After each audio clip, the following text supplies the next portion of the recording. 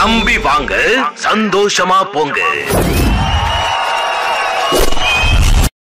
Welcome to tea கடை radio ஆன்மீக கதைகள் பகுதியில் நாம் இன்னைக்கு பார்க்க போகிறது அர்ஜுனன் சந்நியாசம்.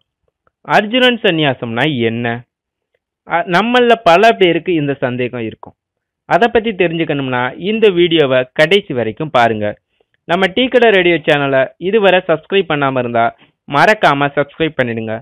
பக்கத்தில் இருக்க பெல் பட்டனையும் கிளிக் பண்ணிடுங்க. பாஞ்சாலியோடு இருக்கும்போது தர்மனோட அறைக்குள்ளே போனதால் ஒரு வருஷம் சன்னியாசம் போக வேண்டிய நிர்பந்தம் அர்ஜுனனுக்கு ஏற்படுது. அதனால் மூத்தவங்க கிட்ட எல்லாம் ஆசீர்வாதம் வாங்கிட்டு சன்னியாசம் கிளம்புறான். கங்கை கரையில் அந்தணர்களோட தங்கி வேத விசாரம் பண்ணிக்கிட்டே சன்னியாச காலத்தை கழிச்சிட்டு இருக்கான். அப்படி ஒரு நாள் கங்கையில் குளிச்சுட்டு கரையேறும்போது ஒரு நாகக்கண்ணி அவன் காலை பிடிச்சி இழுக்கிறான். அதை பார்த்துட்டு அர்ஜுனு அவ யாருன்னு கேட்குறான் நான் நாகக்குளத்தில் பிறந்த உலுப்பி நாக அரசனோட பொண்ணு.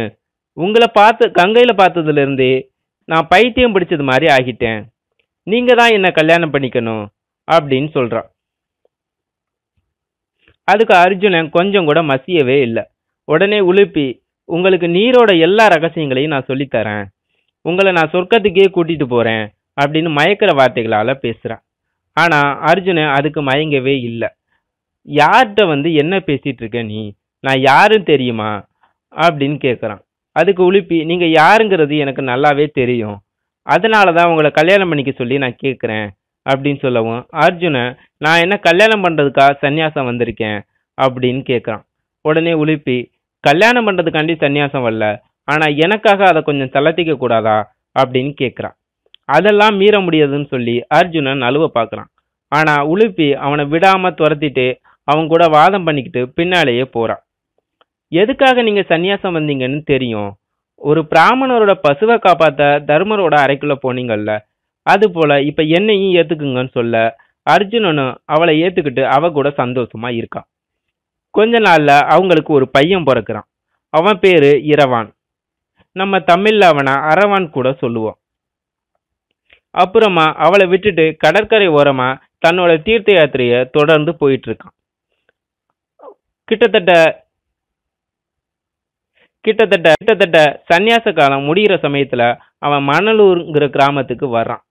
அந்த ஊர்ல அந்த நாட்டோட இளவரசி சித்ராங்கதைய பார்க்குறான் சந்நியாசத்துல இருந்தாலும் அவளை பார்த்ததுமே அர்ஜுனனுக்கு அவன் மேல ஆசை வந்துடுது. உடனே அந்த நாட்டு அரசங்கிட்ட போய் அவன் விருப்பத்தை சொல்றான். இவன் தான் அர்ஜுனன் தெரிஞ்சதும் அவன் ஒரு நிபந்தனையோட கல்யாணத்துக்கு சம்மதிக்கிறான். அது என்ன நிபந்தனைனா சித்ராங்கதைக்கு பிறக்கிற மகனை அங்கேயே விட்டுட்டு போயிடணும் அப்படிங்கிறது தான் உடனே அர்ஜுனனும் அதுக்கு சரின்னு சொல்லிடுறான். அப்புறமா அவளை அப்புறமா அவளை கல்யாணம் பண்ணிக்கிட்டு கொஞ்ச காலம் அங்கேயே சந்தோஷமா இருக்கான்.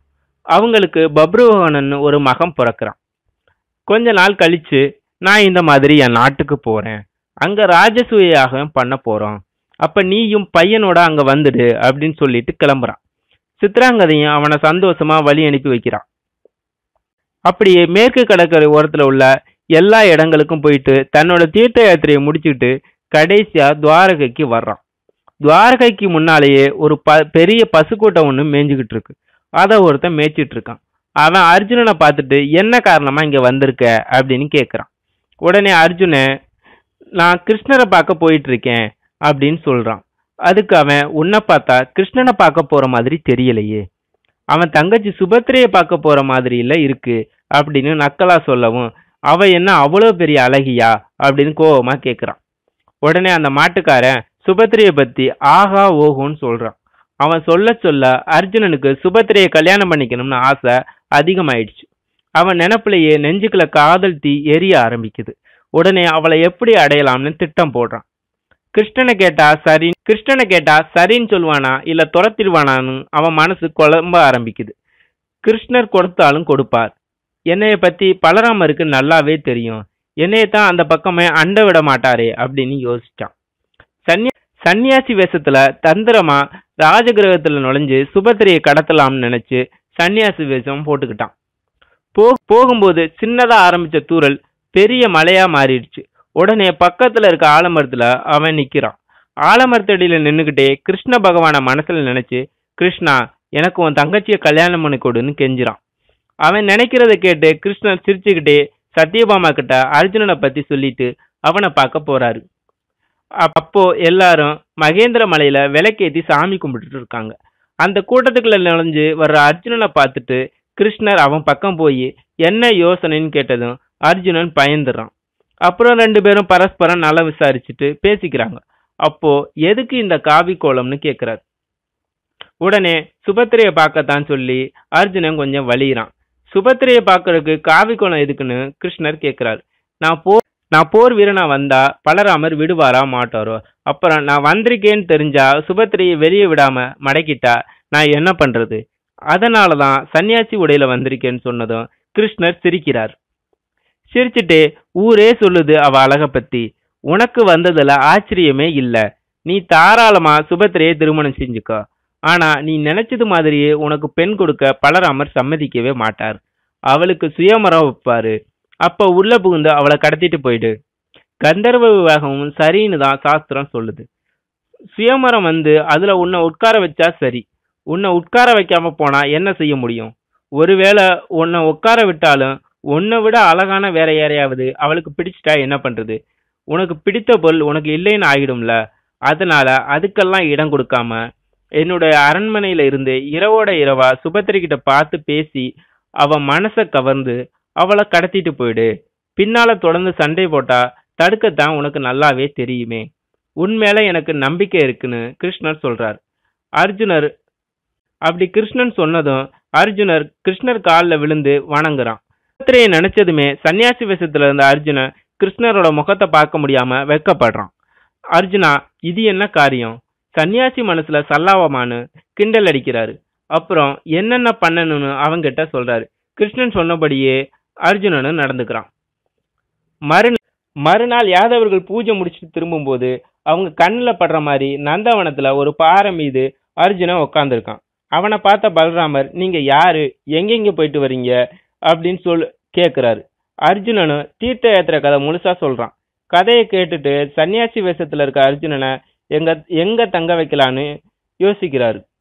அப்போ அங்க வந்த கண்ணன் கிட்ட கேட்க கண்ணன் எதுவும் தெரியாத மாதிரியே பேசுறார். உடனே பலராமன் இவர் நம்ம அரண்மனை தோட்டத்திலேயே தங்க சொல்லி சுபத்திரையை நல்லா கவனிக்க சொல்லு அப்படின்னு சொல்றாரு. கண்ணனோட திட்டப்படியே எல்லாமே நடக்குது. அரண்மனையில எல்லோரும் அர்ஜுனன் உண்மையிலே சன்னியாசி நினைச்சு பூஜிக்கிறாங்க. கிருஷ்ணனும் அப்படியே நடிக்கிறார். சுபத்ரா அவனுக்கு எல்லா பணிவிடையும் செய்கிறான். சன்னியாசி வேஷத்துல கபடமா வந்திருக்கிற அர்ஜுனனுக்கு அவ பார்வை குறு குறுன்னு இருந்துச்சு. அவன் முன்னால சுபத்ரா வரும்போதெல்லாம் ஓர கண்ணால அவளை ரசிக்கிறான். மனசு முழுக்க முழுக்க அவ மேல காதல் அலபாஞ்சுக்கிட்டு இருந்தது. சுபத்திரைக்கு மனசுல வேறு ஒரு எண்ணம் முளைச்சது. அவனோட தோற்றத்தை பார்க்கும்போது அவனை சன்னியாசி மாதிரி அவளுக்கு தோணலை. ஒரு சத்திரிய மாதிரி தெரிஞ்சது. கன்னியாந்தபுரத்திலேயே கொஞ்ச காலம் அர்ஜுனன் இருக்கான்.